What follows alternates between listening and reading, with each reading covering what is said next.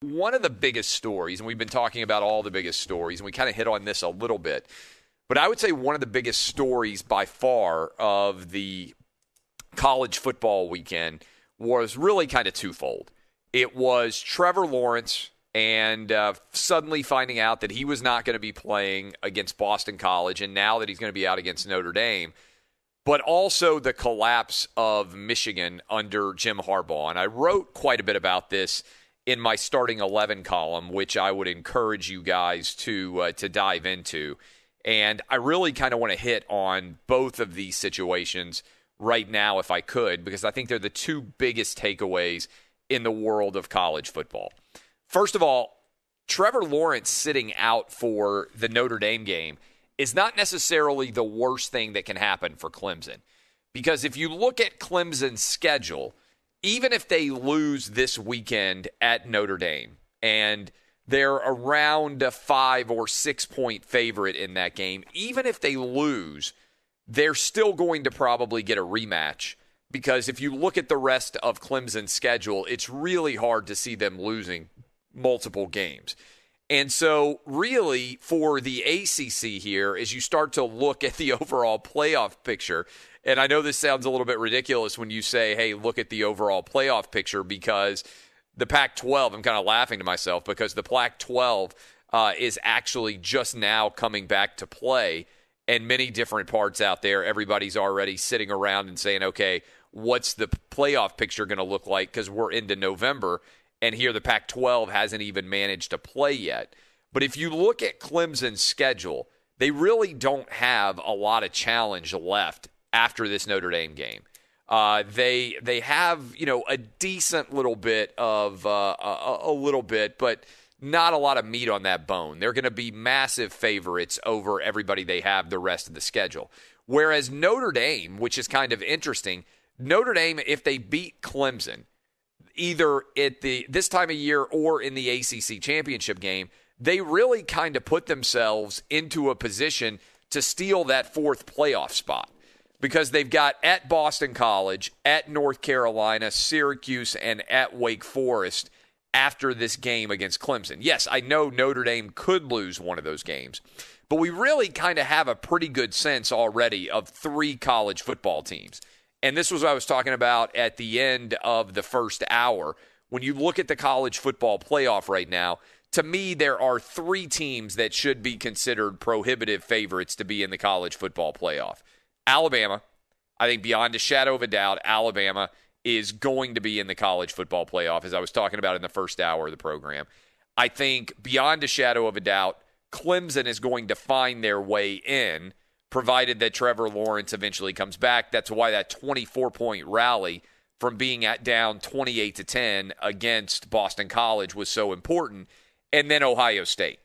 I just, I really don't see anybody with the loss that Michigan just had on the schedule for Ohio State that you even have to be remotely nervous about. So the question becomes who's going to snag that fourth playoff spot? Well, we basically have eliminated the Big 12. We can put Notre Dame in that mix. We can put Texas A&M. We can put Florida. We can put Georgia. All of those teams, but also Notre Dame, I think is right there, kind of hanging on the periphery. And if you're a Pac-12 fan, you want as many different losses to stack up because you're like, hey, what about if one of our teams gets to seven and zero or thereabouts? Is there any way we could sneak in an Oregon or I'm sorry, USC fans? I don't think it's likely, but USC fans saying, hey, what about us as well? So Clemson being able to get that win over Boston College without Trevor Lawrence was important because I really don't see any way that Clemson's going to lose more than one game.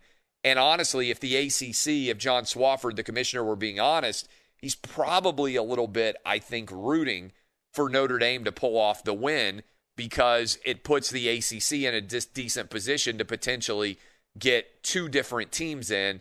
Because I don't think it's very likely that Notre Dame is going to beat Clemson twice. I think it's very likely that Clemson could beat Notre Dame twice. I don't think if Trevor Lawrence is back for the ACC championship game, there is a very high probability at all of Notre Dame being able to do it twice. All right. So that's one big takeaway. The other biggest takeaway Jim Harbaugh is just not going to work out.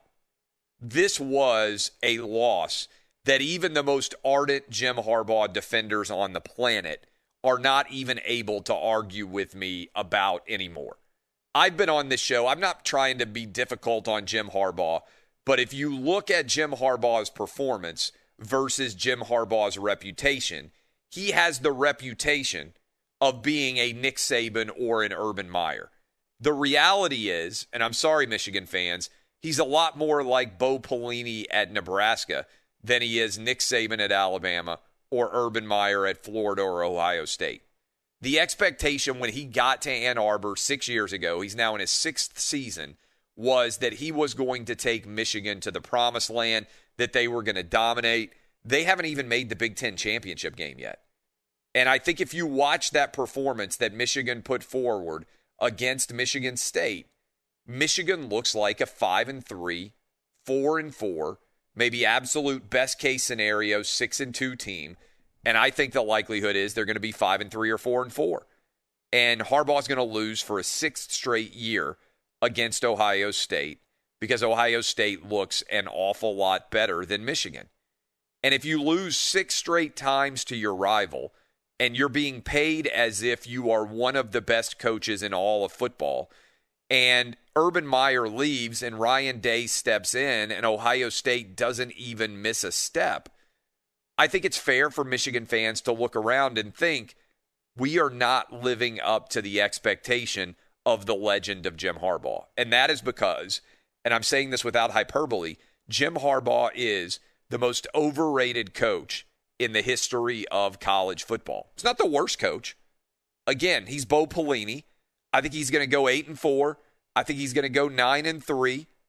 Every second or third year he may blip up and to be fair to Michigan, if Harbaugh had ever been able to find an elite level quarterback, he might truly have been able to be a difference maker in that program. But it hasn't ever happened. And so if you think about what made Dabo Swinney and Clemson elite, it was suddenly going out and getting who? Deshaun Watson. That's what took Clemson from good to great. Harbaugh has never been able to find that quarterback. And given the fact that that's his reputation, that he is a quarterback guru, he's never been able to get it done. He found Andrew Luck and brought him to Stanford. He hasn't had anybody as scintilla as good in six seasons now at Michigan. And eventually, you have to put that on Jim Harbaugh. So I think this is Harbaugh's last year. I think he will finish at Michigan, and both sides will mutually agree that it doesn't make sense for Harbaugh to continue and he will go out and find an NFL job and he is going to ride off into the sunset. I think that's going to be frustrating to him, but I don't see things getting better at Michigan. When you lose as a 24 point favorite against your little brother in state, if you're not familiar with the Michigan Michigan State rivalry, that's one that is going to sting for a long time for Michigan fans and Michigan alums. I know because I'm married to one of them. And so if you actually look at that performance by Michigan, this is a devastating loss for Jim Harbaugh. He is now 1 in 6 at home in his tenure at Michigan against Michigan State and Ohio State. One time in the big house in the Harbaugh era have they been able to enjoy a win over Michigan State or a win over Ohio State. Now, granted, we know he's 0 5 and trending towards 0 6 against Ohio State. But he hasn't been great against Michigan State either. And for Mel Tucker, that was a heck of a win in only his second game as the head coach of Michigan State. To get beat by Rutgers and then get his team back up the next week to show up and absolutely find a way to beat Michigan. Props to Mel Tucker and everybody out there in the Spartan universe for a game that I think certainly stunned every Michigan State fan on the planet.